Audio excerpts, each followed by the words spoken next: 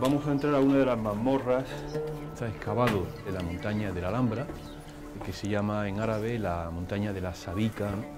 Crónicas nos hablan de que se cambian pues, gente importante, militares importantes o políticos importantes por incluso alguna fortaleza.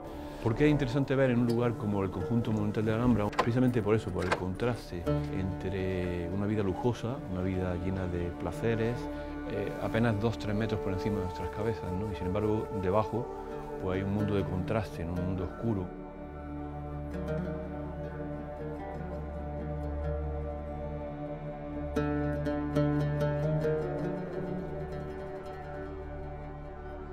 Hay una finalidad evidentemente de los sultanes que quieren perpetuarse a través de los siglos.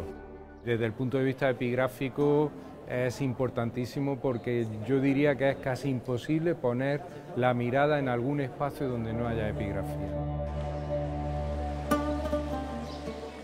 Estamos en un sitio emblemático como es la Fuente de los Leones, de tal forma que por encima de la cabeza de cada león, 12 cartelas que se corresponden con 12 versos. Siguiendo el sentido de la aguja del reloj, podríamos ir eh, leyendo el poema de 12 versos.